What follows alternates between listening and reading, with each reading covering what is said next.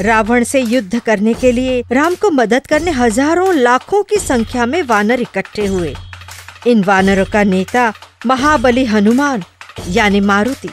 हनुमान उनकी प्रचंड वानर सेना और राम लक्ष्मण को अब रावण के राज्य पर हल्ला करना था और रावण की लंका से सीता को मुक्त करवाना था। पर रावण की लंका थी समुद्र के उस पार। अब यह समुद्र पार करके जाए तो कैसे? बड़ी बड़ी नाव बनाकर सैन्य को उस पार ले जाना चाहिए क्या? उसके बजाय एक बहुत ही बड़ा सेतु ही बनाना चाहिए इस समुद्र पर, ऐसा तय किया गया। पर इतना विशाल फैला हुआ समुद्र, उस पर छोटा सा सेतु काम आएगा क्या? सेतु भी वैसा ही प्रचंड होना चाहिए। बांधकाम शास्त्र का जानकार एक वानर था, नल। उसे यह कार्य सुपुर्द किया गया। बांधकाम का मुहूर्त किया गया और शिव पूजा से कार्य का आरंभ हुआ। हज़ारों वानर काम में जुट गए। कोई पत्थर ला रहा है, कोई रेत ला रहा है और कोई तो पूरे के पूरे वृक्ष ही काट कर ला रहा है। सर्व सामग्री का समुद्र तट पर ढेर खड़ा कर दिया गया। पत्थर का सेतु बनाना है, पर पत्थर तो पानी में डूब जाता है।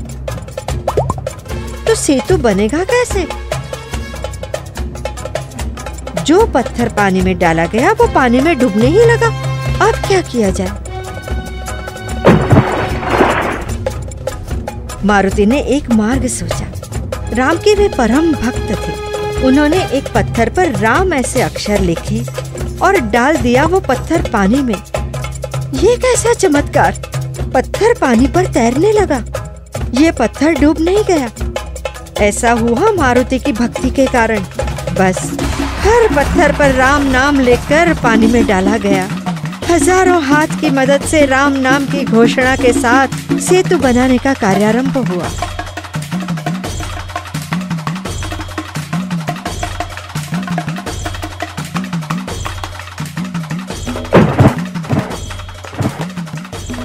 तभी अंगद नामक वानर की नज़र में एक बात आई।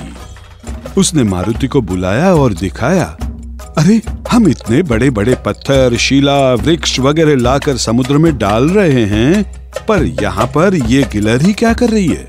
वो देखा क्या? मारुति ने देखा तो सचमुच एक गिलहरी व्याकुल होकर यहाँ से वहाँ वहाँ से यहाँ भाग रही थी। वो चक्कर लगाती ही रहती थी।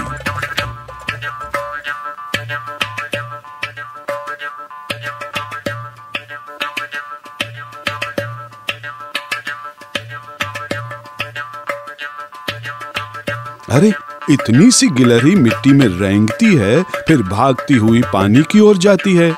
वहाँ जाकर अपना अंग झिंझोड़ती है, फिर वापस आकर गीले अंग के साथ मिट्टी में रेंगती है, फिर चली वो पानी में।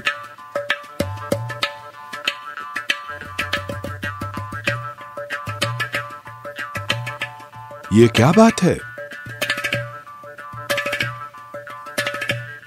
मारुति ने जरा ध्यान से देखा। सारी बात उनकी समझ में आ गई। उन्होंने कहा, अंगद, वो तो हमारी तरह ही सेतु बांधने में मदद कर रही है। अर्थात, कुछ समझ में न आते अंगद ने पूछा। मारुति ने हँसते हुए जवाब दिया, प्रभु राम के सेतु निर्माण के इस कार्य में उसे भी हाथ बटाने की इच्छा हुई है। पर हमारी तरह बड़े बड़े पत्थर लाने का काम वो कैसे कर पाएगी? इसलिए वो अपने अंग पर रेत लगा लेती है, फिर पानी में जाकर वो रेत झटक देती है।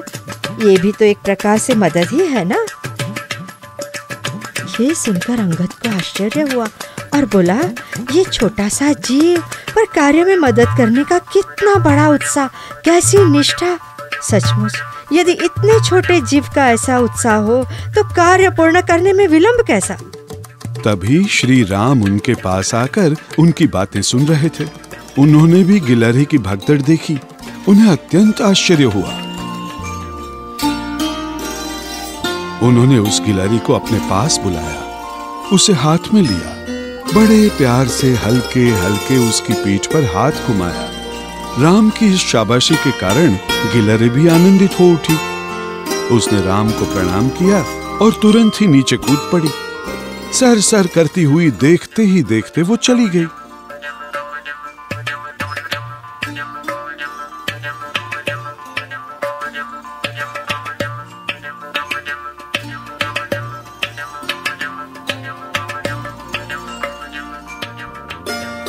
उसकी पीठ पर राम के हाथ लगाने के कारण उंगलियों की रेखाएँ बन गई थी।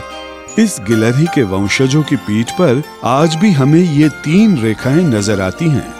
मानो ये निष्ठा से कार्य करने का गिलहरी को इनाम मिला हो।